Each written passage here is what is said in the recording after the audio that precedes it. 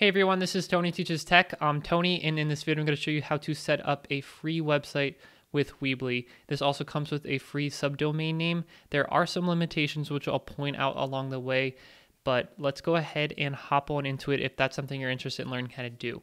So go to Weebly.com or use the link in the description below and go to the pricing page, and you'll see that there is the option for uh, $0 per month, completely free basic use website hosting.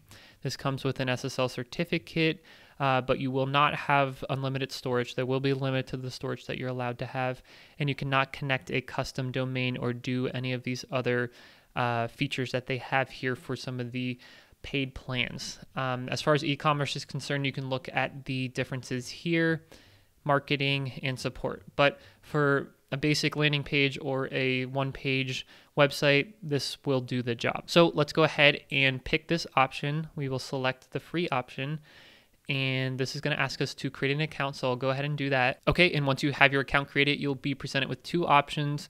Do you want a business website which says you can sell things on, you can accept reservations and bookings, connect your Instagram account, stuff like that? Or do you want a personal site where you can have blogging functionality and not any type of e-commerce functionality.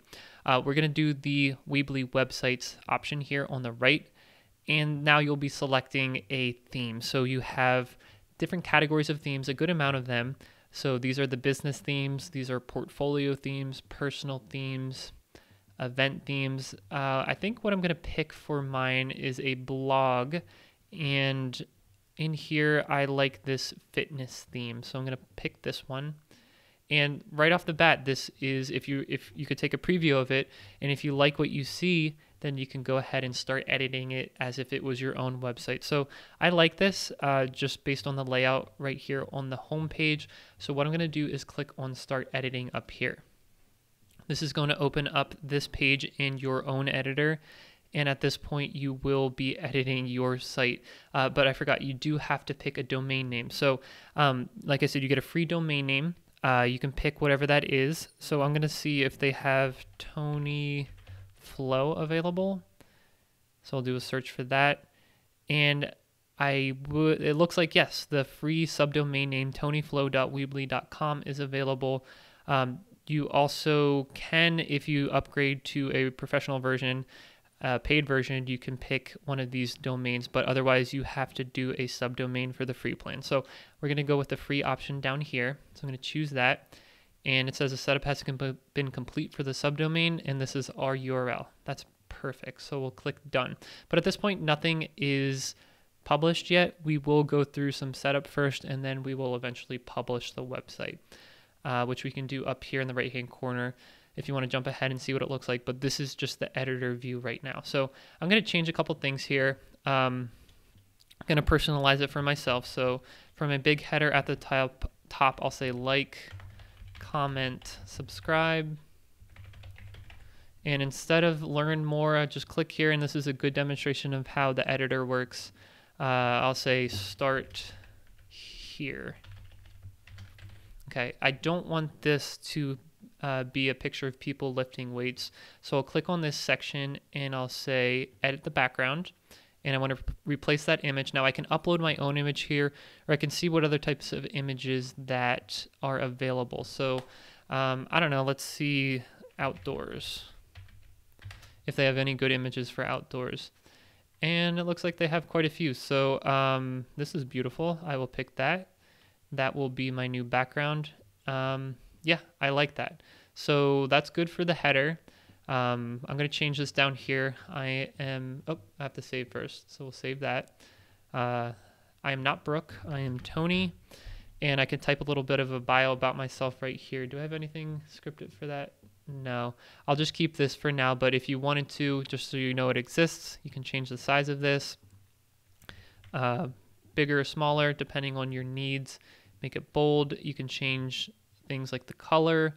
Um, if you wanted to add a link to something outside of your site, you can do that here. Let's say we want to link to, like it says for the example, http s colon slash slash google.com, and that'll create a hyperlink for that website.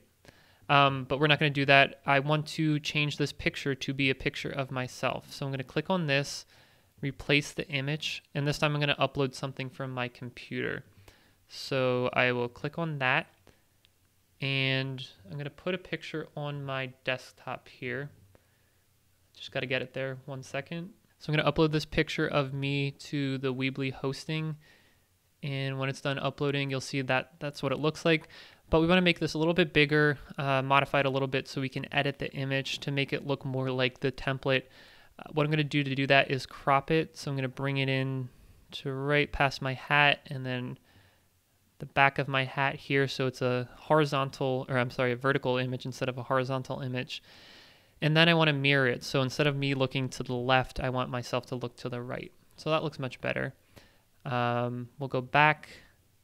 We will save that. And now we have a vertically oriented picture with myself looking to the right. Uh, if you wanted to, you can change the text for this button right here.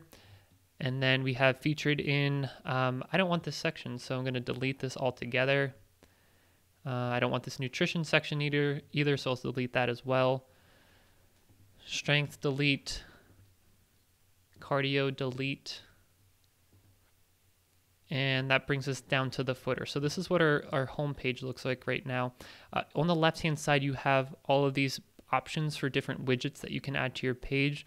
So if you wanted to add, let's say, a gallery of pictures, you can just drag that down into your website and fill this up with gallery or photos from uh, that you upload from your local computer. So um, I don't have too many photos right now, so uh, the only one I have is this one of my face again. So I'll upload that just to show you how that works.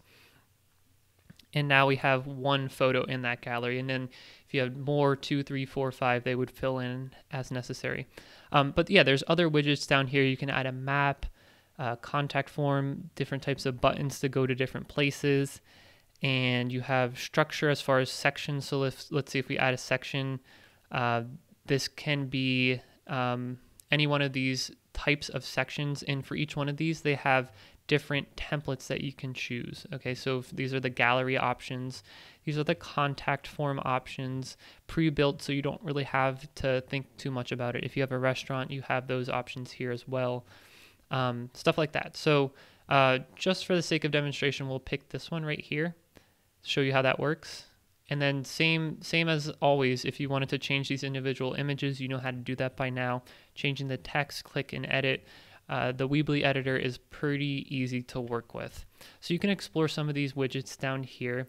Uh, but like I said, one of the things that I want to do with my website is to write blog posts. So part of my website is this menu up here and part of the menu is my blog page. So if I wanted to write a blog page, I can come to my pages section up here along the top and go to my blog. And if you want to add a new blog post, you can click down here in the bottom right hand corner to add a new post. And I'll call my post simply hello world. And I'll start typing with a text element over here. And I will say, welcome to my blog. This is my very first blog post.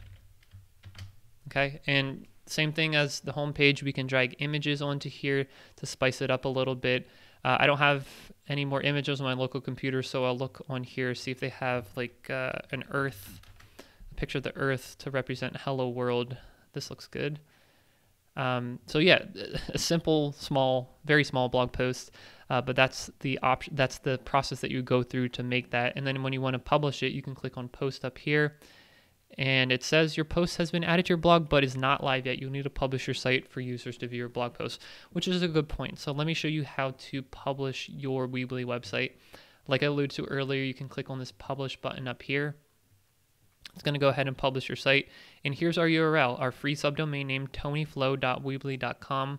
Let's click on that and preview the actual website. So here's what it looks like. We got our menu at the top, our header with our words, start here button, and then the elements that we added. So this, this random section right here, uh, a little bit of a blurb about me, and then our gallery with just one image in it right here. And if we wanted to go to the blog, we can go click on that, go to our blog, and see our first blog post, read that now, and that's what that looks like. So hopefully that gives you a good idea about what you can do for having a free website with a free subdomain name on Weebly. Let me know if you have any questions in the comments below. I'll do my best to help you out. Subscribe for more videos like this from me in the future. I have a whole host of other ways you can host a free website, so check that out as well. Thank you guys for watching. I'll see you in the next one.